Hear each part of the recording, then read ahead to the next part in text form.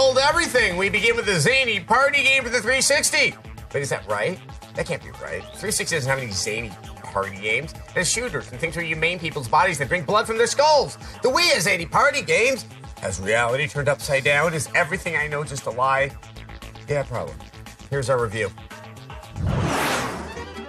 Hey, ready for an action game? Ready to pit your skills against the alcohol seasoned familiars that make up your friends and family?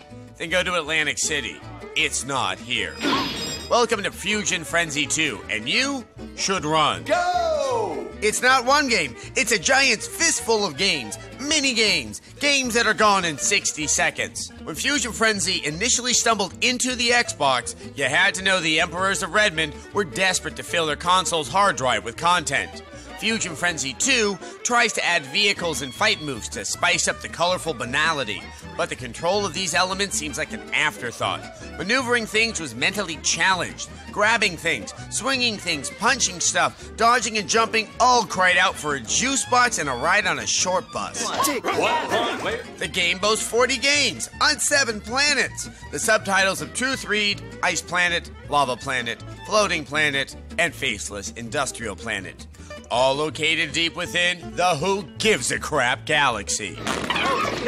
The title's character animations are sloppy and a lot of times just plain hilariously bad. The camera perspective seems to have a mindless all its own, making the action seem like a shimmering pool of expectorated food poisoning. The brevity of the games guarantee your stay won't be long in this burnt out neon hotel. And the battle's over.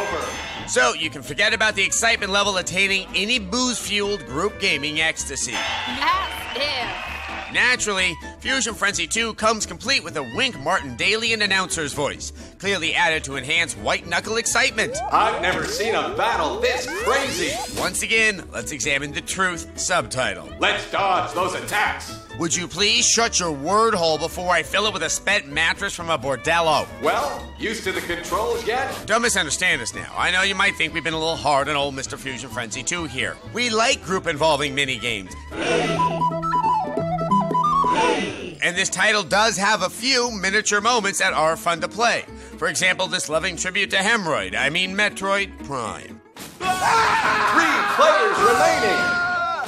The title's not terribly broken, but with the brief length of game, sloppy, color bloated graphics, and defeated object and character animations, there really is no reason to recommend this one, even for kids. Okay, maybe a group of Mormon girls trapped in the same marriage, locked away in a compound somewhere in the hills of Utah, eh, they might dig it.